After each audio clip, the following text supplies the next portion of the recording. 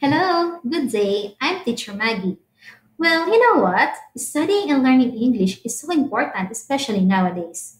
Not just being English as one of the most common international language, this language helps us also to communicate with nearly all the people around the globe. Yet, learning it is often difficult and hard. It can be also frustrating and boring. So, how can you stay motivated? Well, here in Native Camp, we ensure that we, your teachers, are not just competent and confident, but also we're all enthusiastic and friendly to make learning more enjoyable and comfortable. We aim to provide the best learning experience that you can have.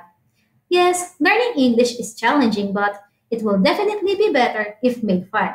So, what are you waiting for? Come and join my class and don't miss the chance, okay? See you!